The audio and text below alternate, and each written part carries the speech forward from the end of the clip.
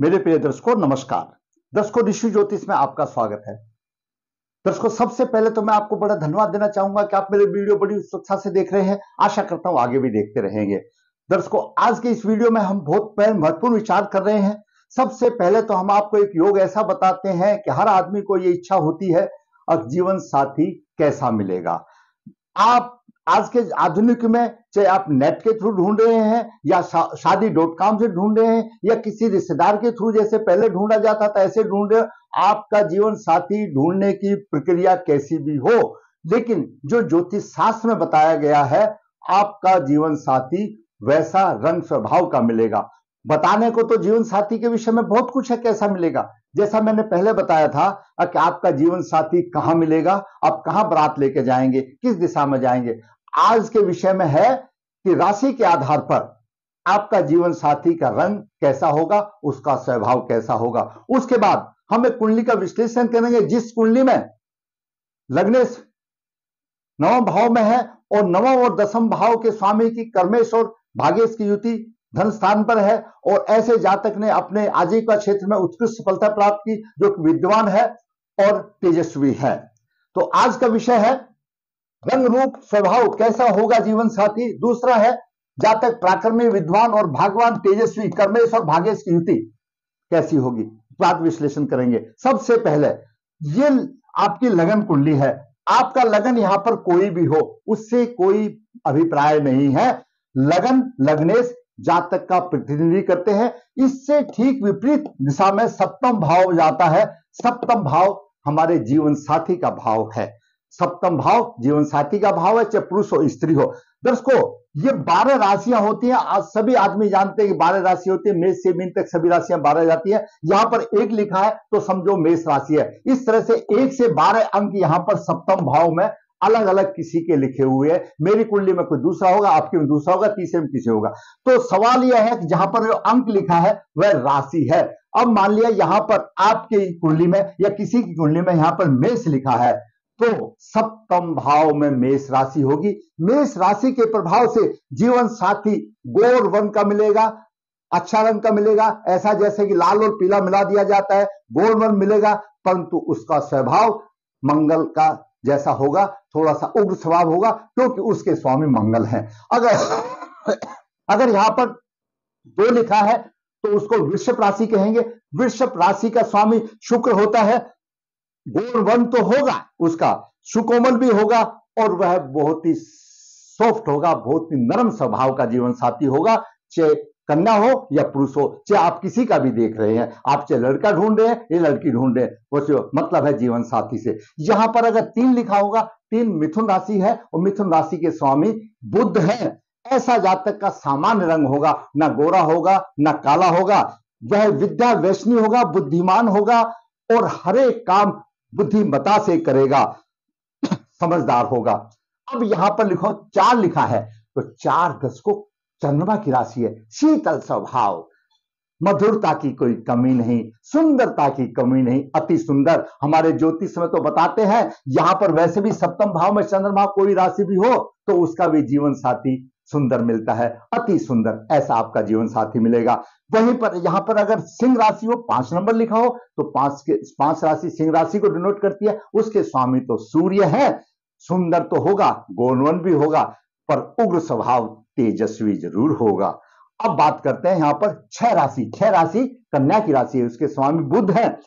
सामान्य रंग होगा, बुद्धिमान होगा, समझदार होगा हर एक काम बुद्धिमता से करेगा। ना गोरा होगा, ना काला होगा। अब यहाँ पर बात करते हैं, तुला राशि की, तुला राशि सात लिखा होगा तो समझो आप तुला राशि है। उसका व्यक्तित्व आकर्षक होगा और सुंदर होगा गोल होगा और शरीर की आकृति भी सुगठित होगी, क्योंकि उसके स्वामी शुक्र हैं। अब बात करते हैं यहाँ पर, वृश्चिक राशि वृश्चिक राशि के स्वामी मंगल है। गोलवन तो होगा थोड़ा सा उग्र स्वभाव होगा, क्यों? मंगल का भी असर उसमें मिलेगा। अब बात करते हैं, यहाँ पर धनु राशि। धनु राशि नौ नंबर को धनी राशि कहा जाता है। गुरु की राशि है। बुद्धिमता में किसी से पीछे नहीं, ज्ञानी विवेकी और समझदार होगा और गोलवर होगा, सुंदर होगा। दार्शनिक विचार होंगे उसके। अब बात करते हैं यहाँ पर दस दस नंबर राशि। दस नंबर राशि मकर की राशि है। मकर के स्वामी शनि है। ऐसा जीवन साथी, ऐसा आपका जीवन साथी जिसकी कुंडली में है, मकर राशि हो तो ऐसा जीवन साथी उच्च अभिलाषी होगा। कोई भी काम करने की उसकी उच्च अभिलाषा होगी थोड़ा सा सांवला कलर होगा गोरा होने वाली बात नहीं है।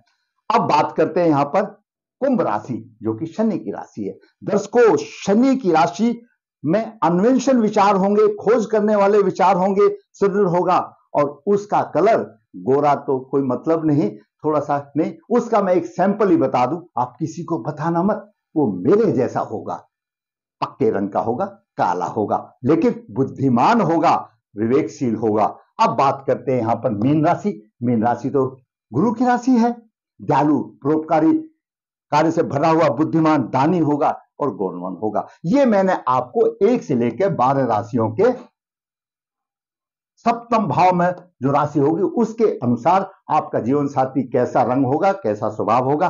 दर्शकों, यह देश काल परिस्थिति के हिसाब से चेंज बदली हो जाता है, क्योंकि जब जो बालक किस इन्वायरमेंटल में पैदा हुआ, किस वातावरण में पैदा हुआ, किस जलवायु में पैदा हुआ, उसका भी असर होता है और ग्रहों का भी असर होता है तो वह असर हो सकता है। मैंने आज आपको बताया सिर्फ़ राशि के प्रभाव से।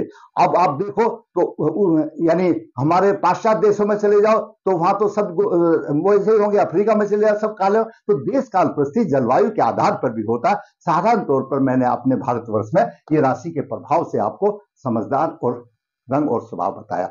अब बात करते हैं एक कुंडली की, जिसमें कि प्राक्रमी भी विद्वान है, भगवान है, तेजस्वी है कर्मेश भाग्य स्मृति है। जातक का जन्म सोलह एक उन्नीस सौ अड़सठ को कृष्ण पक्ष पुष्चरण एक मंगलवार को हुआ। जन्म के समय पर धनु लगन एक डिग्री सत्तावन मिनट लेकर विराजमान था, लगभग दो के करीब था। द्वितीय भाव में मकर राशि में बुध बारह डिग्री और सूर्य एक डिग्री, उनतीस लेकर विराजमान है। मंगल तीर्थ भाव में कुंभ राशि में है। चतुर्थ भाव में शनि, मीन राशि में तेरह डिग्री और राहु उनतीस डिग्री, सैंतालीस मिनट लेकर के मृत अवस्था में ना कोई शुभ फल दे रहा है, ना शुभ फल दे रहा है, थोड़ा बहुत दे रहा है, जैसा भी शुभ अलग बात है। अष्टम भाव में चंद्रमा अपनी राशि में है। पाँच डिग्री विराजमान नौ भाव में लगने गुरु ग्यारह डिग्री, सत्ताईस मिनट दसम भाव में केतु उनतीस डिग्री विराजमान है और द्वादश भाव में शुक्र तेईस डिग्री लेकर विराजमान है। यह जातक के ग्रहों की स्थिति रही। दस को धनु लगन की कुंडली है।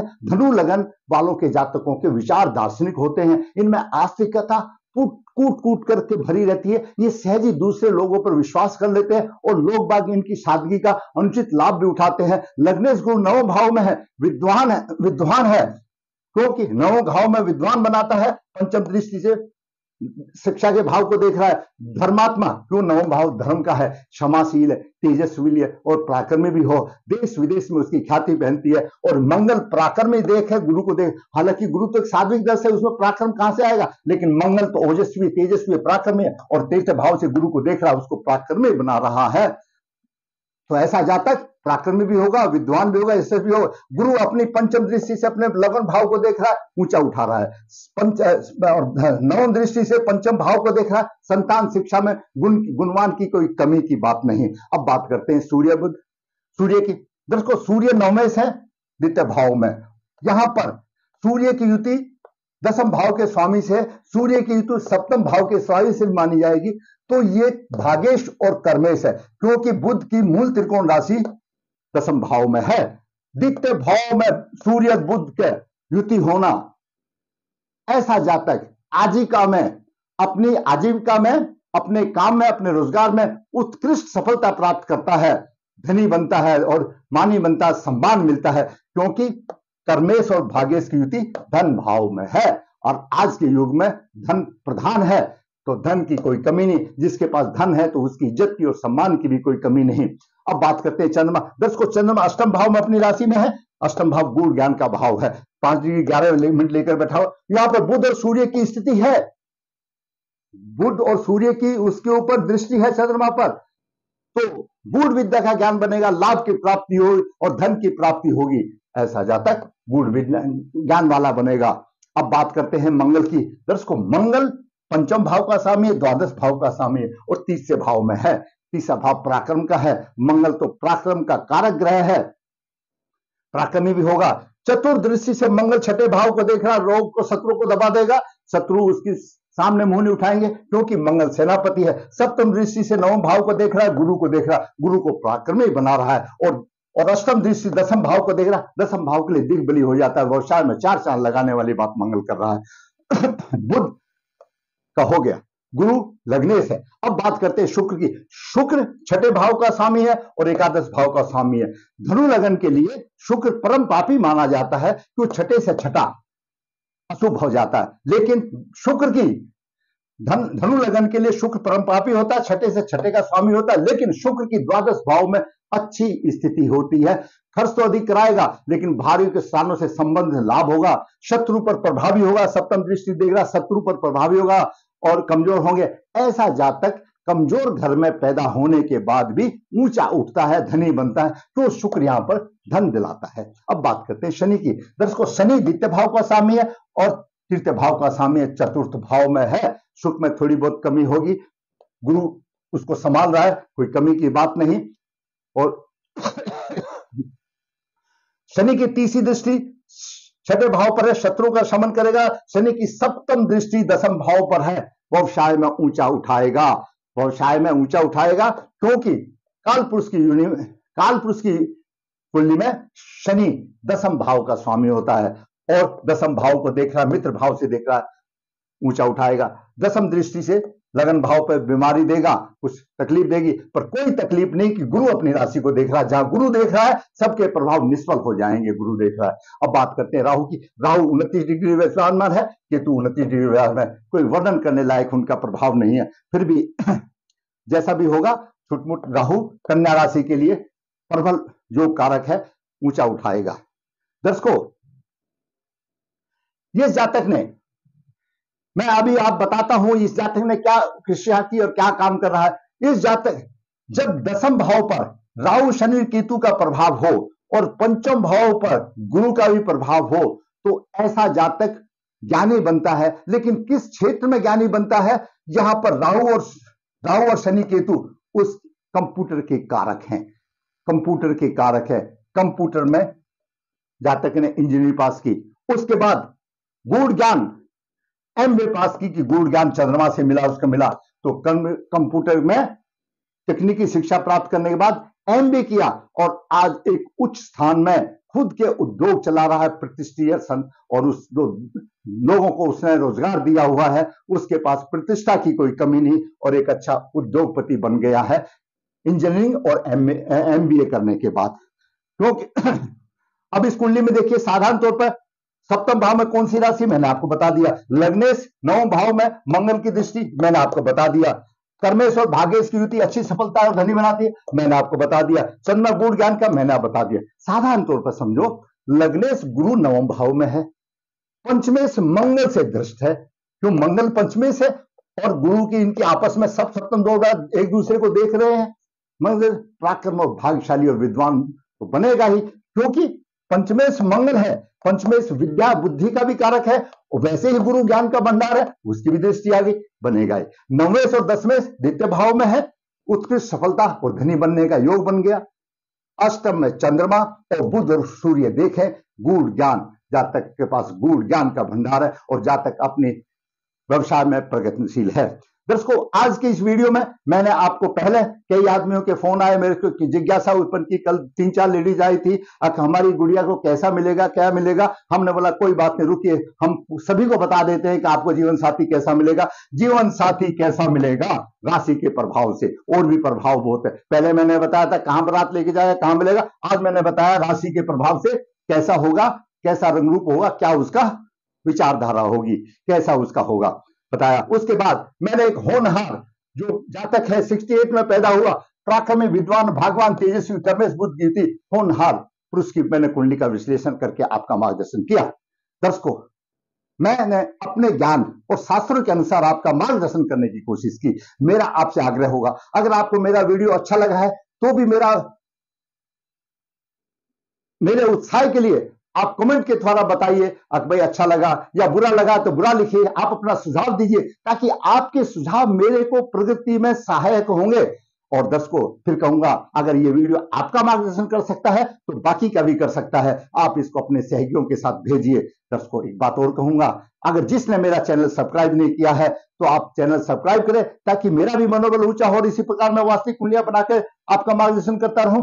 ऋषि ज्योतिष नर्मदा के तट के नज़दीक है, नवदेह यहाँ पर काल सर्दोष प्रदोष की पूजा की जाती है, जो इच्छुक है वो संपर्क कर सकता है। ऋषि ज्योतिष हाथ से पत्रिका लिखता है, पच्चीस तीस पेज हाथ से लिख करके निचोड़ दिया जाता है, पूरा जीवन का सार पकड़ा दिया जाता है। उसमें दोष और उपाय सब होते हैं, जो पे आप संपर्क कर सकता है। ऋषि ज्योतिष कन्या भाव के गुण मिलान बिना किसी शुल्क के आसान करने के लिए व्हाट्सअप करके भेजता है, ज़रूरत आपको फ़ायदा उठाने की। दर्शकों फिर कहूँगा, मेरा वीडियो अच्छा लगा है आप लाइक करें शेयर करें, जिसने चैनल सब्सक्राइब किया सब्सक्राइब करें धन्यवाद।